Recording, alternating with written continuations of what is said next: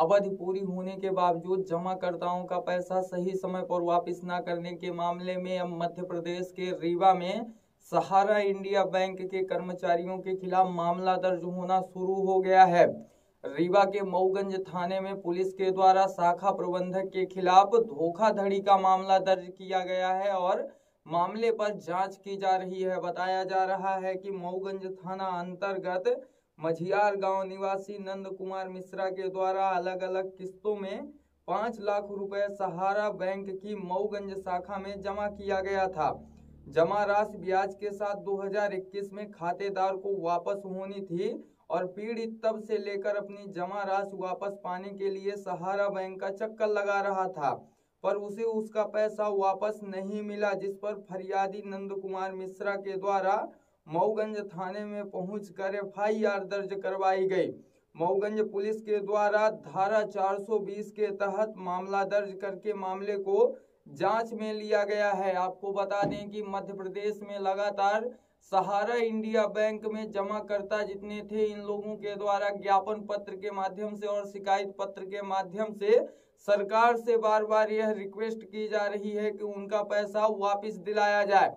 वहीं इस संबंध में जब सहारा इंडिया बैंक के जमाकर्ताओं से बात की गई तो उनके द्वारा बताया गया कि वह लोग कई किस्तों में अपना पैसा जमा किए हुए हैं और 2018 से लेकर आज तक किसी का भी पैसा नहीं मिल रहा है।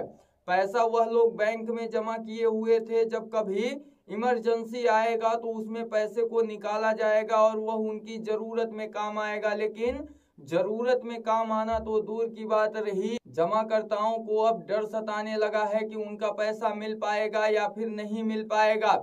जब जब जमाकर्ताओं के द्वारा ज्ञापन पत्र सौंपा जाता है, धरना प्रदर्शन किया जाता है या फिर कोई उग्र आंदोलन करने की बात की जाती है, तब सहारा इंडिया के तरफ़ से एक लेटर जारी होता है और लेटर में साफ़ तौर पर यह बताया जाता है कि आप सभी का पैसा मिल जाएगा। अभी केस चल रहा है, कोर्ट में केस चल रहा है, जिस कारण से पैसा नहीं मिल पा रहा है, लेकिन जल्द से जल्द आप सभी का पैसा मिल पाएगा।